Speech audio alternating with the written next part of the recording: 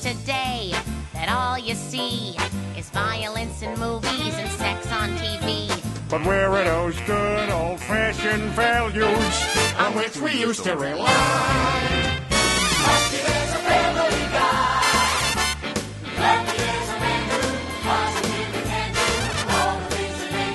Laugh and cry.